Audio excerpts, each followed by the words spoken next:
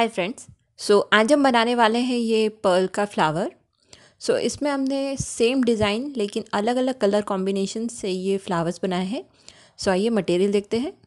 इसमें हमने लिया है रेड पर्ल आप चाहें तो कोई भी कलर ले सकते हैं. वाइट सीज़र सुई और वायर लेकिन वीडियो स्टार्ट करने से पहले अगर आपने मेरे चैनल को सब्सक्राइब न किया हो तो सब्सक्राइब बटन पर क्लिक कर कर बेल आइकन को प्रेस करना न भूलिए.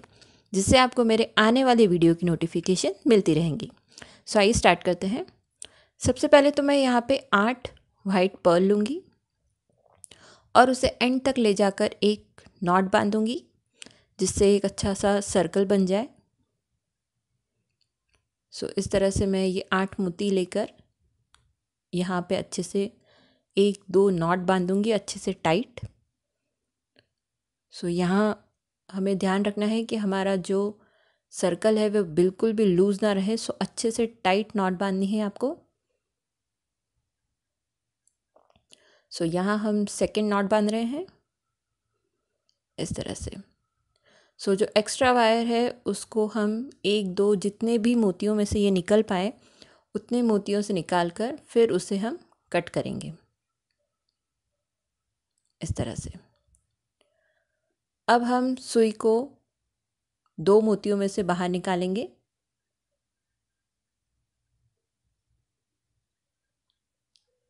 इस तरह से। अब हम यहाँ पे तीन रेड, एक वाइट और तीन रेड पर्ल लेंगे। इस तरह से। और एक वाइट मोती में से हम सुई को बाहर निकालते हुए दूसरे वाइट मोती में से निकालेंगे। इस तरह से। अब नेक्स्ट हम तीन रेड मोती एक वाइट मोती और एक रेड मोती लेंगे और दो मोती हम पहले के जो सर्कल है उसका यूज़ करेंगे। सो so, दो रेड मोती और नीचे के वाइट दो मोतियों में से हम सुई को बाहर निकालेंगे। सो so, हमारा सेकेंड राउंड कंप्लीट है।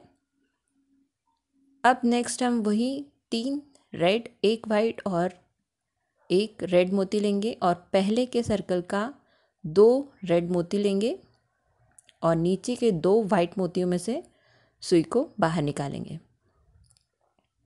इस तरह से पूरा राउंड आपको कंप्लीट करना है। सो so, यहाँ पे पूरा राउंड कंप्लीट है। लास्ट के लिए हम एक रेड एक वाइट एक रेड लेंगे। और पहले के दो और आखिरी के दो रेड मोती हम लेंगे।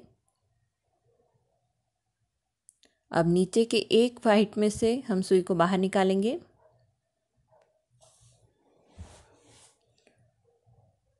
और दो वाइट मोतियों में से, दो रेड मोतियों में से निकालते हुए हम सेंटर का जो वाइट मोती है, वहाँ तक हम सुई को लेके जाएँगे।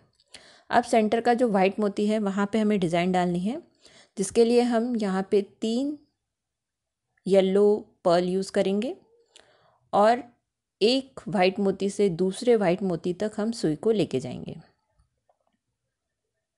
इस तरह से सो ये तीन, चार मोतियों का इस तरह से राउंड बना। अब नेक्स्ट हम तीन येलो मोती लेंगे।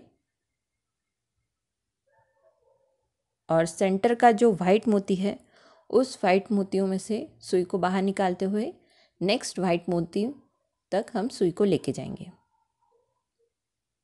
इस तरह से। अब नेक्स्ट हम वापस से तीन येलो मोती लेंगे और एक वाइट मोती से नेक्स्ट वाइट मोती तक सुई को लेके जाएँगे। सो इस तरह से हमें ये पूरा राउंड कंप्लीट करना है। सो यहाँ हमारा पूरा राउंड कंप्लीट हो गया है। अब हम सुई को नीचे के साइड ले जाकर नॉट बांधेंगे। सो so, इस तरह से हम ये अच्छे से टाइट नॉट बांधेंगे।